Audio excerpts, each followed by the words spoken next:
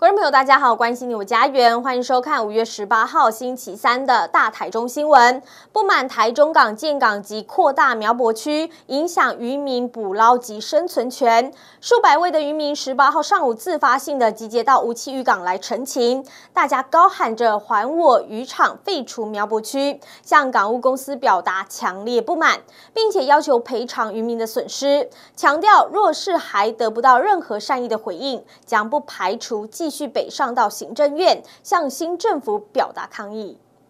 我来了，渔场，我来了，做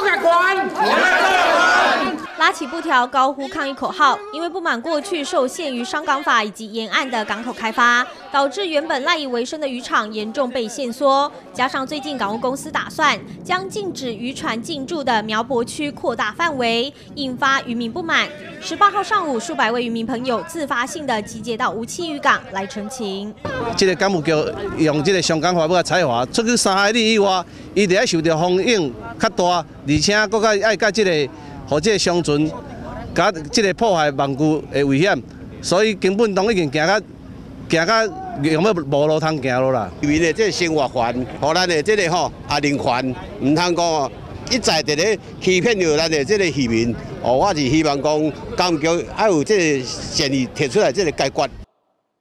渔民表示，原先港务公司所划设的苗博区面积大约七千多公顷，但在民国九十二年重新划设的时候，范围却扩大为一万一千多公顷，造成渔民被迫得到更外海捕鱼，危险性大增。而且只要进入苗博区捕捞，就得依商港法开罚十万到五十万元，甚至没收渔具，严重影响捕捞权益。多次协调都没有交集。因此，渔民也不排除接下来将持续北上抗争。即马甲围到马博区，等于我大中关作业的拢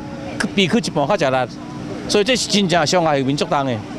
啊，政府呢，干那讲较歹听的，你对外口也讲富裕，但是对内底呢是欺负咱渔民。五二零新政府上台，所以旧政府啊卸任的政府，他跟渔民所做的权利是否有效？哦，我们要看新政府的新政府的态度。所以讲，我们这些渔民大家吼，殷殷期盼，希望第五二零上台政府可以正视这个问题。